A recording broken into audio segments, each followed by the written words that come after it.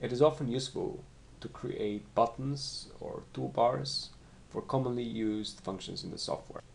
For example, the transformation connect endpoints is often used to interpolate over segments of inaccurate heart rate calculation data.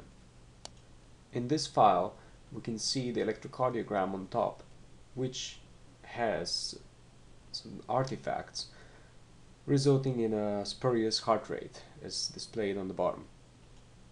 Using the connect endpoints function, we can interpolate between the left and the right edges of the selection.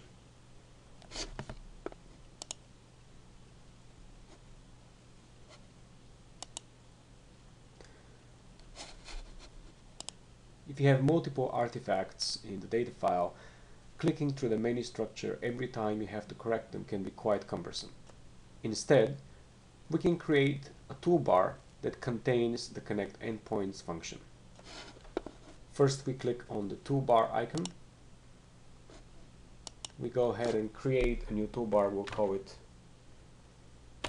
connect. And then we have to add the function, which is under transform, connect endpoints. Click apply, OK, and we can see the new button has appeared in the software.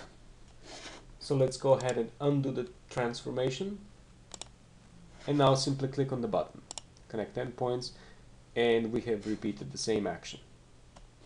You can determine which of these extra toolbars you create are visible and which ones are not. If we right click on the toolbar section, the connect toolbar is visible here. We can uncheck it and we can check it back in